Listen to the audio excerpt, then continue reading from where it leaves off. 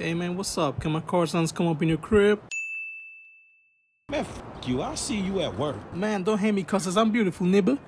Maybe if you got rid of these yee ass car sounds, you will get some more fans on your server. Or, better yet, maybe if you stop recycling those ugly ass car sounds, some new devs will call you to help you out with the next Forza